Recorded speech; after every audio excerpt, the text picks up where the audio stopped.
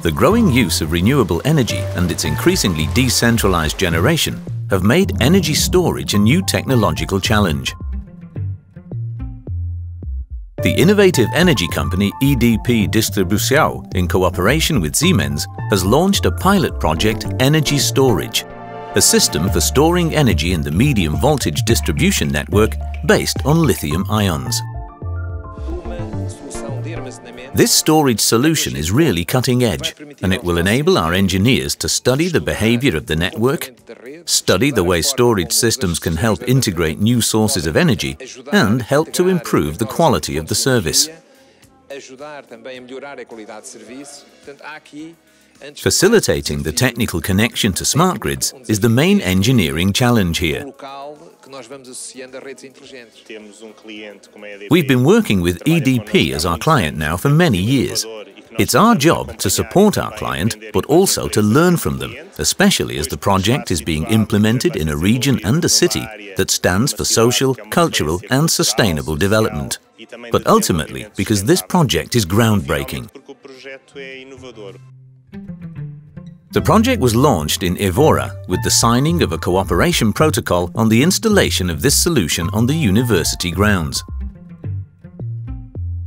The implementation of Inovgrid here will make the city an important focal point for the development of innovative projects. This pioneering energy storage solution was developed in the Siemens plant at Corroios using Portuguese engineering. The plant has a power output of 472 kilowatts and a storage capacity of 360 kilowatt hours. Under normal conditions, the technology installed in the container will supply the Evora University campus with power for 30 minutes.